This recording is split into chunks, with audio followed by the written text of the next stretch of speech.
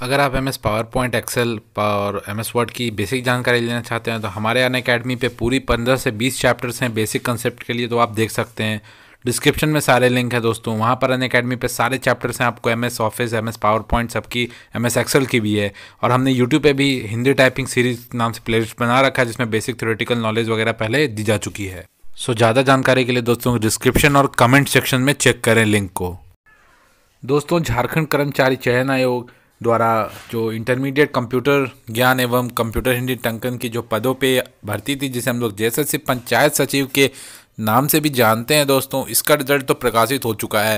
मैं सबसे पहले आप सबसे ये कहना चाहूँगा, यार जिनका चयन हो गया है, बधाई हो कॉन्ग्रेचुलेशन लेकिन जिनका नहीं हुआ है, आप बिल्कुल भी घबराओ नहीं, क्योंकि अभी सेकेंड लिस्ट भी आएगा, इसके बाद जो अभी कंप्यूटर टेस्ट होना है, और आप जानते हो कि जो कंप्यूटर की जो भी चीज़ें दी गई हैं, जो कि डिमांड की गई हैं, जितनी स्पीड, जितनी एक्यूरेसी काफ़ी लोग इसमें छटने वाले हैं। आपको तो मालूम है, जो इसने पूरे छः महीने, चार महीने या तीन महीने भी अच्छे से प्रैक्टिस की होगी, जिसके पास जो भी ये क्राइटेरियाज फुलफिल करेंगे, उनका ही चयन किया जाना है। जो ये नहीं कर पाएँगे, उनका चयन नहीं होगा, ये आपको तो मालूम है क्लियर तो इस वजह से घबराने की बात नहीं है।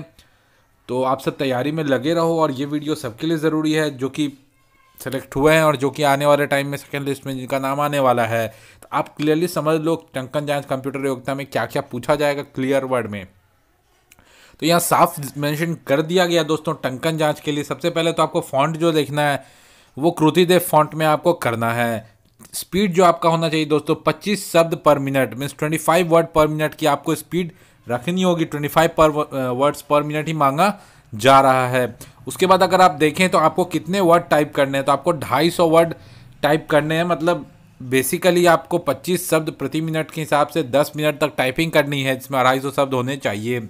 साथ में दोस्तों, आपको कितने प्रतिशत, ये सारी चीज़ें पुरानी है, लेकिन मैंने सोचा एग्ज़ाम की जो भी ऑफिशियल नोटिफिकेशन निकली है, उसके अंदर का जो भी डिटेल्स है वो आपको बता दी जाए। दो प्रतिशत मतलब दो परसेंट ही गलतियाँ होनी चाहिए। नाइन्टी एट परसेंट एक्यूरेसी आपकी होनी चाहिए। दो परसेंट से अधिक गलतियाँ करने वाले छात्रों को क्या कर दिया जाएगा? अनुत्तीर्ण घोषित कर दिया जाएगा। बस इतनी सी टाइपिंग में ये क्राइटेरिया आपको speed as well as accuracy को ध्यान रखना है। कंप्यूटर वाले में लोग कंफ्यूज हो सकते हैं तो आप टेंशन मत लीजिए। आप मैंने ऑलरेडी बताया आपको एम एस एक्सएल की वीडियोज़ आपको कल से देखने को मिल जाएगी। M S Word M S Excel PowerPoint सब कुछ मिलेगा दोस्तों। कोशिश करूँगा मैं दिन में दो तीन वीडियो भी दे पाऊँ। अगर दे पाया तो अदरवाइज़ मैं दूँगा। बाकी मैंने टाइपिंग के लिए ऑलरेडी कहा रखा है कि टाइपिंग यहाँ पर स्क्रीन पे स्क्रीन रिकॉर्डेड वीडियोस में या लाइव नहीं सिखाया जा सकता तो आपने कोचिंग ज्वाइन कर लेना है। काफ़ी दिनों पहले मैंने कहा है, क्योंकि ये लंबी प्रोसेस है, इसमें आपको टाइम लगता है दो तीन महीने। अब कंप्यूटर टेस्ट में दोस्तों बेसिकली इसमें आपको साफ़ कहा जा रहा है कि इसमें M S Word M S Excel PowerPoint ई चार चीज़ का इस्तेमाल किया जाना है।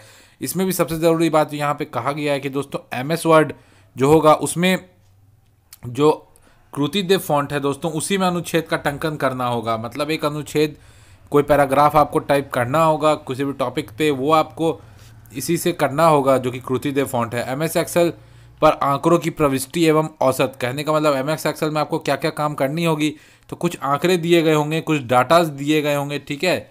उस डाटा का क्या करना होगा? आपको एवरेज निकालना होगा, औसत निकालना होगा परसेंटेज निकालना होगा ज़ोर करना होगा। घटाव करना होगा, ये सारी चीज़ें आपको आनी चाहिए एम एस एक्सल पे।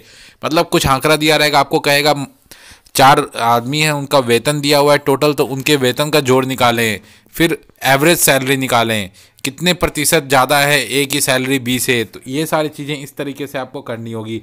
एम एस पावर पॉइंट में भी एक प्रेजेंटेशन बनाना होगा, जो कि कृतिदेव फॉन्ट पे ही कहा गया, और लास्टली दोस्तों, एम एस एक्सेल है, जिस पर दोस्तों आपको आंकड़ों की बात करनी है और लास्ट में इस सबको क्या कर देना है दोस्तों? बताए गए ईमेल आईडी पे ईमेल भेजना है या रिसीव करने की बात की गई है। इन सभी कार्यों के लिए अभ्यर्थियों को 30 मिनट का समय दिया जाएगा।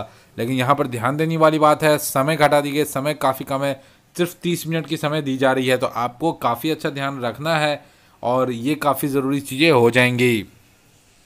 कि इसमें बहुत लोग इसमें अनुत्तीर्ण भी हो सकते हैं इस टाइम के कारण।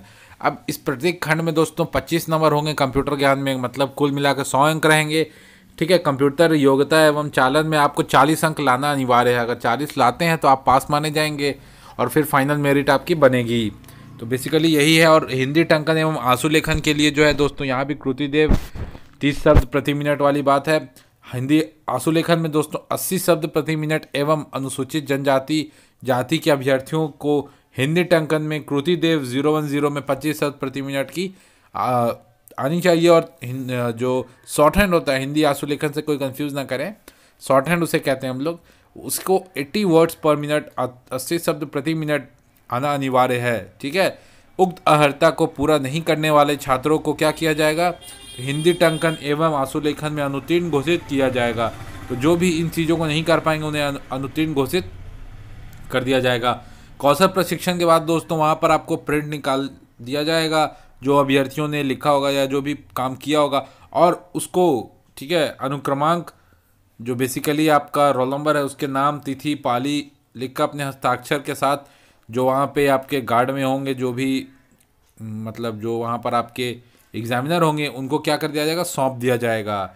बेसिकली और ये बात है कृति दे फॉन्ट की ये काफ़ी दिन पहले बोर्ड ने सूचना दी थी, ऐसा ये कह रहे हैं। तो कुल मिलाकर यही था टर्म्स एंड कंडीशन आशा करता हूँ वीडियो को समझ में आ गया होगा तो परीक्षा की तैयारी में आप लग जाओ। क्योंकि यहाँ पर बात है कि सिर्फ़ तीस मिनट मिल रहा है, इसलिए काफ़ी लोग इसमें छट सकते हैं। तो ये बहुत बड़ी बात है, जो कि आपने ध्यान अगर नहीं दी होगी तो आप देख सकते हो।